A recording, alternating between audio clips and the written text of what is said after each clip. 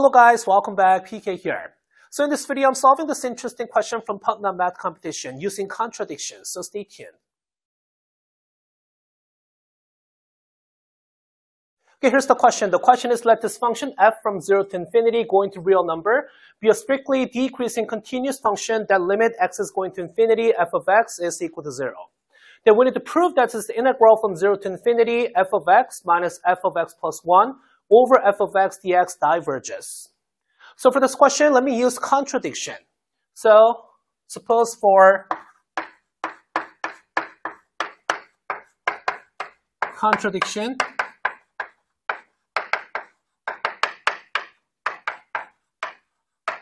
that this integral from 0 to infinity f of x minus f of x plus 1 over f of x dx does not diverge.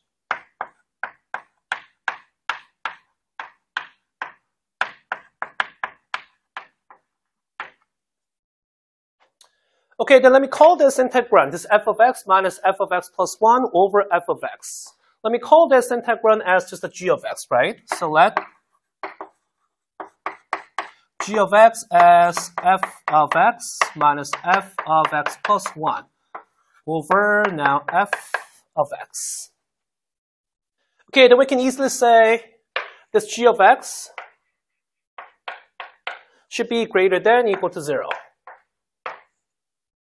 Okay, then let's solve for this f of x plus 1, right? Then your g of x times f of x is equal to f of x minus f of x plus 1. So that is why this f of x plus 1. Okay, f of x plus 1 has to be the same as f of x parenthesis 1 minus g of x. Okay, then from this, let's fix x as x naught. So fix x as x naught. Okay, then using this expression, we can talk about how f of x naught plus 1 is equal to f of x naught times 1 minus g of x naught. And then f of x naught plus 2. This is the same as f of x naught plus 1 times 1 minus g of x naught plus 1. Okay, then we can talk about how for all n, that is integer, that is also positive. We can talk about how this pattern will continue. So your f of x now is not plus n. This is going to be equal to f of x naught times 1 minus g of x naught and so on, all the way up to 1 minus g of x naught. Now plus and minus 1. Okay, then let's recall that we're supposing this integral from 0 to infinity of g of x dx does not diverge.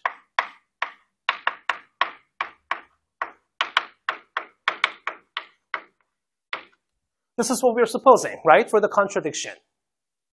Then we can say your g of x will go to 0 as your x is going to infinity.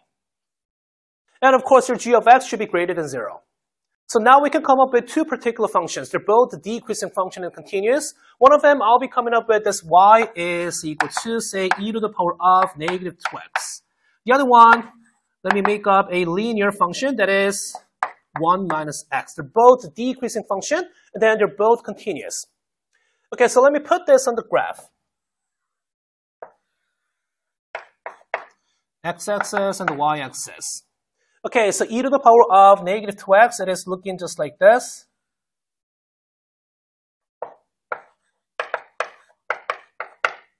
And 1 minus x, it should be looking just like that.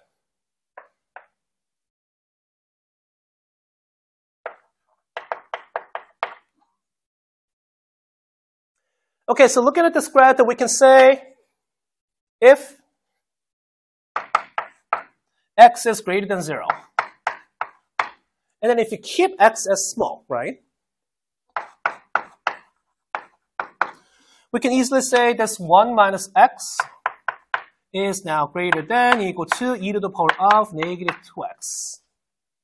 So that is why from this, we can say 1 minus g of x naught is going to be greater than equal to e to the power of negative 2 g of x naught. So that's why we may assume that for all x that is greater than 0, then your g of x will remain small too. Okay, then finally using this expression, we can talk about how f of x naught plus n. Okay, this has to be greater than equal to f of x naught okay, times e to the power of, say, negative 2 times g of x naught. Okay, times all the way up to e to the power of negative 2 of g of x naught plus n minus 1. Okay, then the right-hand side is the same as now. F of x naught times e to the power of negative 2, let me make a bracket, of g of x naught plus all the way up to g of x naught plus n minus 1, and then close your bracket. So the sum in the exponent is about the same as integral from x naught to x naught plus n minus 1 of g of, say, y dy. So that's why using this expression, we can say um, f of x naught plus now n. This has to be greater than equal to f of x naught times e to the power of negative 2 times integral from x naught to x naught plus n minus 1 of g of y dy.